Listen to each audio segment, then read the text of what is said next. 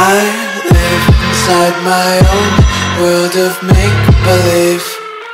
Kids screaming in the cradles, profane